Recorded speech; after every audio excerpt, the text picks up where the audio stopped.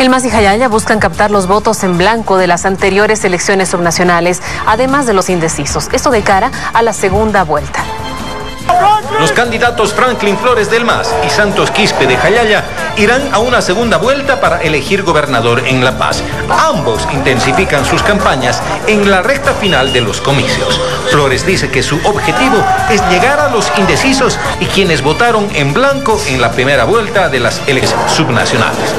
Y estamos eh, trabajando para que bueno, las personas que hayan votado en blanco puedan eh, optar por nosotros o finalmente aquellas personas que creen en que la paz debe ser primero, que quieren la paz industrializado con generación de empleos, oportunidades, opten eh, el día del 11, consolidar este triunfo, esta victoria entre tanto, Jayaya sostiene que la apuesta es hacia los sectores sociales, tanto en La Paz como en el Alto. El MAS y Jayaya tienen claro que se debe llegar al voto urbano.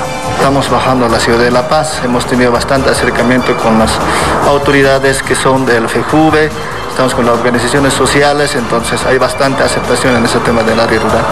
Vamos a trabajar con, tocando puerta por puerta.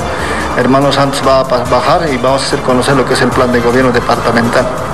La segunda vuelta para elegir al gobernador se llevará adelante el próximo 11 de abril en cuatro departamentos y La Paz es uno de ellos. Y a días de la segunda vuelta de las elecciones subnacionales en el departamento de La Paz, las campañas políticas se refuerzan en las avenidas principales y plazas de la ciudad. Este sábado, grupos de militantes se concentraron en la calle 21 de San Miguel de la ciudad de La Paz. Ciudadanos que apoyan la candidatura de Franklin Flores aseguraron que este fin de semana reforzarán las actividades en las dos ciudades para lograr captar votos. Primeramente estamos haciendo toma de plazas, trabajo de puerta a puerta y aficheo y cuidado de murales en las noches. Actualmente se está trabajando con bloques de trabajo que estamos distribuidos a nivel La Paz. En la misma esquina, pero a metros de distancia, decenas de militantes de Jayaya repartieron folletos a vehículos y peatones para hacer conocer la propuesta de Santos Quispe. En la 8, en la calle 0, estamos en la Plaza de la Loma y así sucesivamente. Vamos a seguir hasta el día martes, miércoles, que es permitido.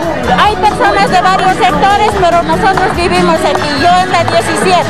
Este 11 de abril, los departamentos de La Paz, Jachoquizaque y Pando van a segunda vuelta para elegir a sus gobernadores.